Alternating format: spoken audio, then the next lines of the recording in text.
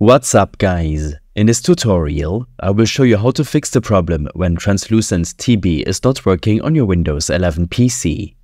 This should be quite an easy tutorial. For more information, click on the first link in the description below. To fix the Translucent TB problem, you will need to install a tool. Navigate to this GitHub page. A link will be in the video description. Download the ViVeTool 3.0 zip file. Your browser can help you locate your downloaded files. Extract the content of this zip file. To do so, right-click the file and select Extract All. It will take a couple of seconds and a new folder will be created in your Downloads folder with the extracted content of the zip file. Next, copy this folder to your C directory.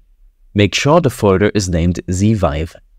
When this is done, open up your commands prompt as an admin Simply search for Command Prompt in your Start menu search and with this app highlighted, click Run as Administrator.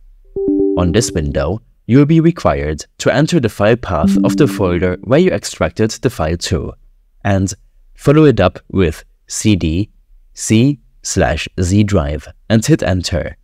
Everything you need will be in the description below.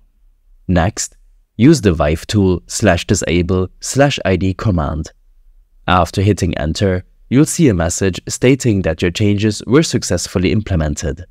After restarting your PC, Translucent TB will work fine again. These steps and more information will be available in my extensive guide linked in the description below. I hope this helped you out. Leave a comment if you have any questions and see you in the next one.